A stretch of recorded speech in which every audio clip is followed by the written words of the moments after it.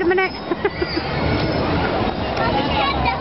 yeah. There you go.